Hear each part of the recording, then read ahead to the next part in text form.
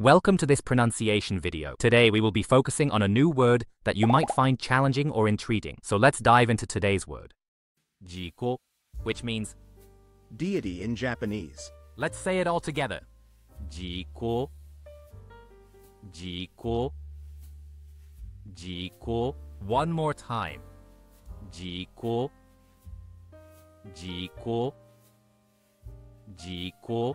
Thank you for joining us on this adventure in pronunciation. Remember, language is a journey, not a destination. Keep exploring, experimenting, and expanding your linguistic horizons. We'll see you next time.